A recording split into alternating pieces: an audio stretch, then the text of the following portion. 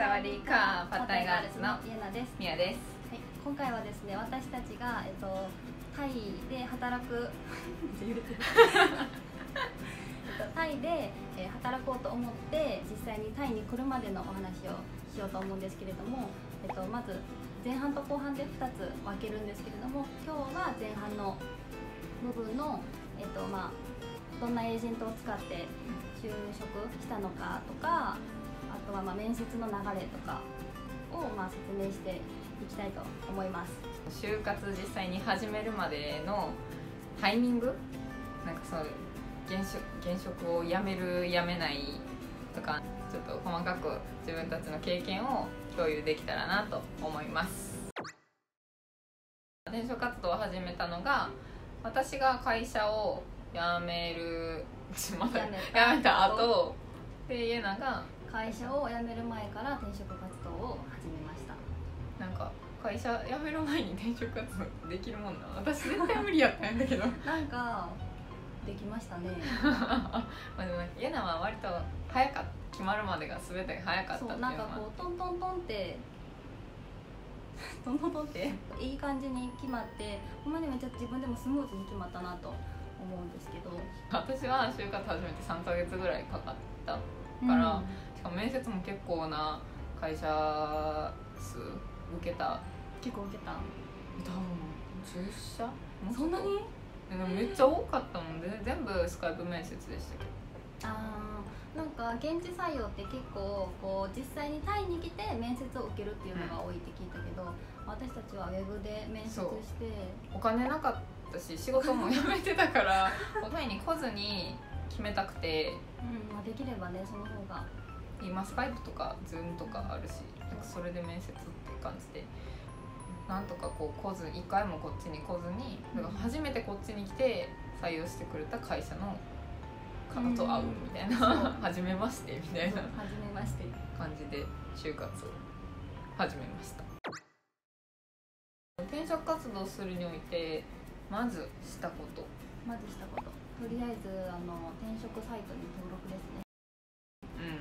うん一緒私も。で私は1社だけうん。登録したけど、何社ぐらいした私はもうなんか何がいいかわからなかったからこう、うん。YouTuber の現地採用された人とかがなんか自分の経験話す時にこういうの使ってみたいなおっしゃってたのをメモって、そこのあのエージェントにひたすらこう履歴書を日本語英語と職務経歴書を日本語英語で4つ作ってもうひたすら貼り付けて。じゃあ作ってないのほんまに。びっくりしてんけど。あ そう私全然日本語だけで。しかもなんかそれも普通ってこう履歴書と職務経歴書を作ってこうサイトにアップロードして、でまあ企業の人からこう見てもらってスカウトしてもらうとかが多分多いと思うけど、履歴書日本語のやつとん。職務経歴書日本語のやつを作ってでなんかその担当の方にメールで送って「お願いします」みたいな。ちょっと緩い感じでしたね私 なんかエージェント登録したら連絡を基本的にうん。エージェントの方が電話かメールかでくださってそこで一旦面談してじゃあこういう会社紹介していきますねみたいな流れに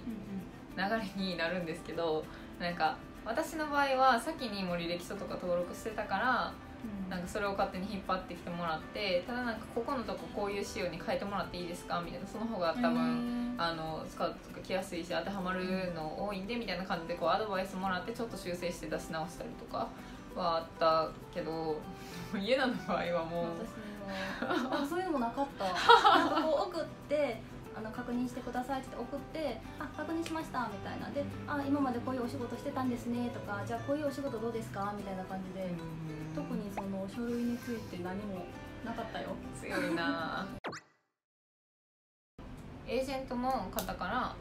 なんかこういうのどうですかみたいな希望に沿ったものをまずこういろいろ紹介をしてもらいます。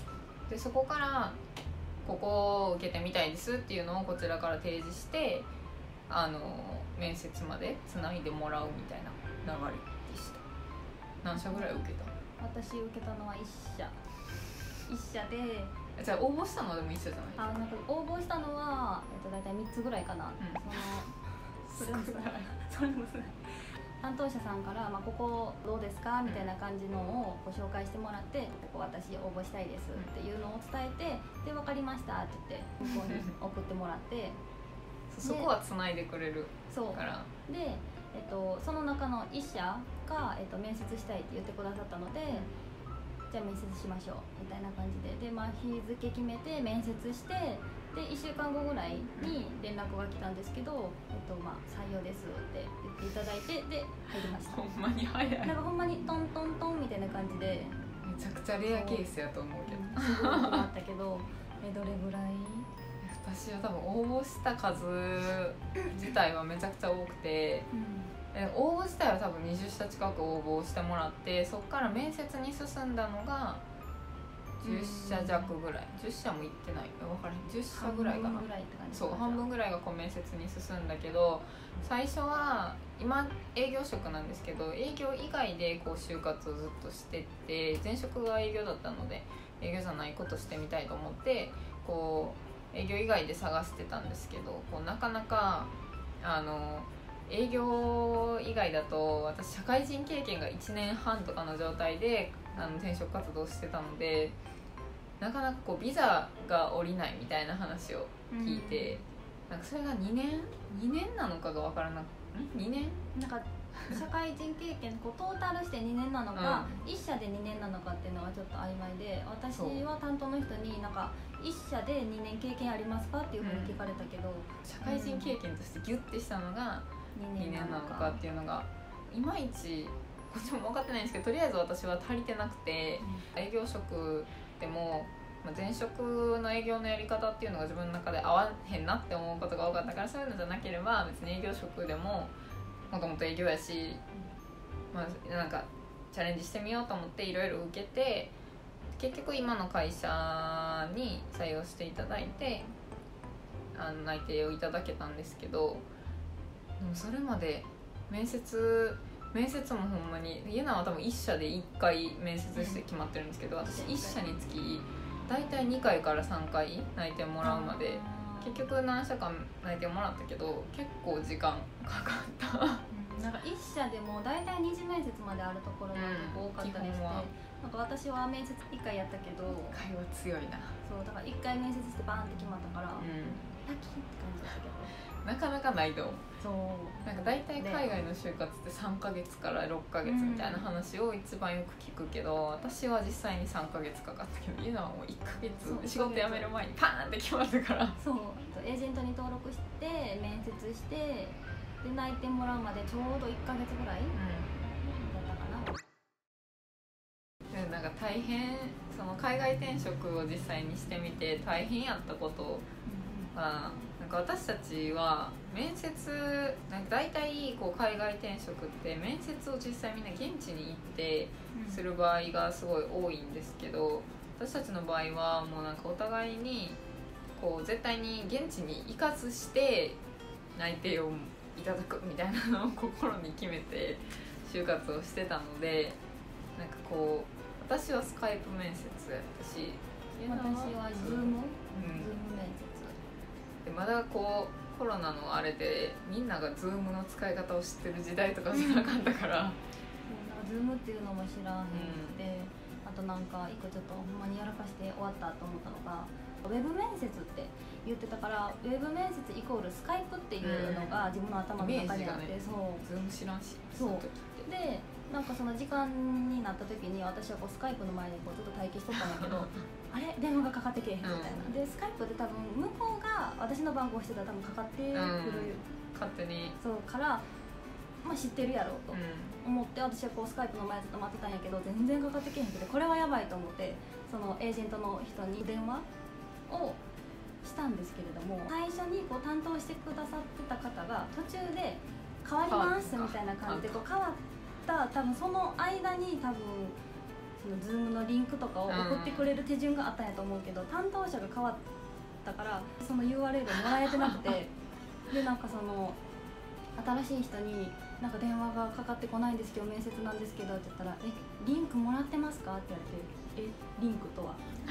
ってでそれで急そもそもいで Zoom リンクって知らんしね。あそう。リスカイプみたいなアプリリンクとは？かなって思うしでなんかそのこのアプリを入れてこう、リンクに接続してくださいって言われてもうそこからアプリダウンロードして無断欠席みたいな。そうこれはほんまにやばいと行く前から。そうで20分ぐらいかな結局、うん。面接の予定してた時間をちょっとオーバーしちゃっ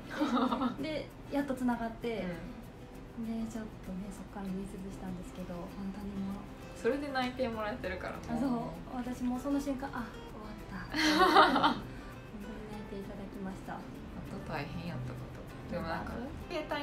プリでスカイプ面接してたんですけどこう携帯って位置がどこに置いてもこうどうしようみたいなめっちゃ部屋映るしみたいな。あそう。そうだから部屋の壁壁をこういう白い壁をバックにした状態で面接をしたいと思ったらこうベッドの上とかになるからうんベッドの上にカメラの位置合わせるってなったらなんか変な棚を引っ張ってきてうん。こう立ててなんか正座して こうやってこう高さ合わせてここここだけが入るようにして。にちょっとここだけを見れ見そうえるように。ここだけめっちゃ綺麗にちゃんとスーツ着て今度言ったらあれなんですけどなんか多分大体ウェブ面接ってみんな下までちゃんと着替えてる人っておるんかな。私履いたスラックス。なんかこうしたことなかったからウェブ面接、うん。こう調べた時にこう立ってこう一回挨拶した方がいいとか書いとって、立った時にズボン見えたらパジャマとか見えたらあれやなと思ったから一応まあ上ちゃんと着てで下もスラックス履いてやりました、私。私。何履いてた赤いスウェット履いてた。の激しい。え冬やったから。寒いからこうモコモコのモコモコっていうかなんか中裏起毛のスウェットをそう履いててなんかどっちにしろ一礼してって言われても私はあの高さ的になんかすごい中腰みたいな感じであの1時間近く面接してたから立ってって言われても立てない立つに立てない。そうしかもなんかベッドやしみたいな。でも立ったら携帯がもうね携帯も倒れるしなだれになってバインバインってなるし。みたいなと思ってからもうあのもうそこは賭けで。賭けで。そう。なんか下まで逆に出て出てないのに着替えるのもなと思って。いろいろ調べた結果なんか不意にバレてしまうことがあるのでちゃんとしましょううみたいなのもあったけど多分あかん。多分やめた方がいい。多分着替えるのが正解。一応こうねズボンまでこうしっかり履いてた方がいいかなと、それが正解です、ね。はい、えー、と今回の動画は私たちが実際にあのタイに来ずして内定をいただくまでの実際のこう面接とかを通しての流れや感じたことを共有させていただきました、えー、と次回の動画では今内定をいただいてから実際に海外にタイに移住するまでにまあ、やっといた方がいいことやらないといけないことを中心にご紹介できればと思いますので次回の動画もぜひご視聴いただければと思います。インスタグラムのフォローとチャンネル登録高評価もよろしくお願いします。では次回の動画でお会いしましょう。コブンか